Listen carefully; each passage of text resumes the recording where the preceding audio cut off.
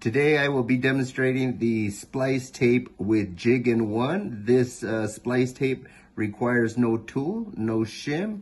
It has the alignment pins, the alignment jig right on the splice tape itself. This is a new product. First thing we're gonna do is cut the carrier tape. That's gonna be used in the demonstration. have our two pieces right there.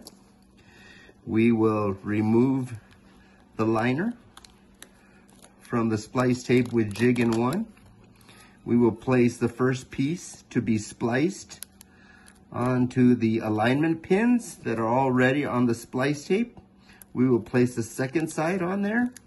We will press firmly on there and ensure that that thing uh, sticks properly.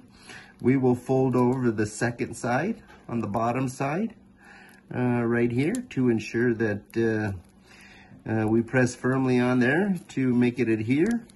We will fold over this second side right here. And we will also press firmly on there as well. Always remember to press firmly, guys, to make your splices not, uh, not fail.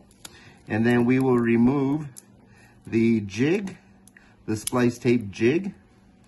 And you will see that the jig pins come up off of there as well. Uh, we will then press firmly on both sides to ensure that we have a splice.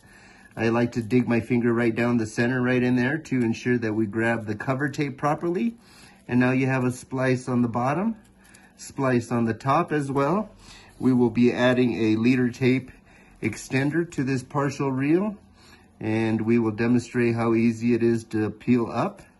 Uh, once uh, you put the leader tape extender on there, you will roll that over to grab the beginning part of the cover tape. And then you will pull on the splice and it peels right off. And that is your splice jig with alignment pins already on the splice tape. Thank you very much.